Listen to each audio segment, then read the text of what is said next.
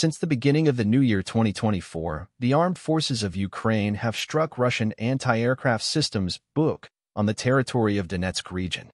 According to published materials on January 2nd, soldiers of the 14th Regiment of the Special Operations Forces shot a video of the destruction of the 9A310 M1-2 launcher of the Buk M1-2 complex.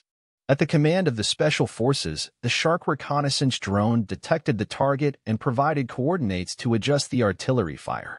As a result of a high-precision weapon hit and an ammunition explosion, the combat vehicle was completely destroyed.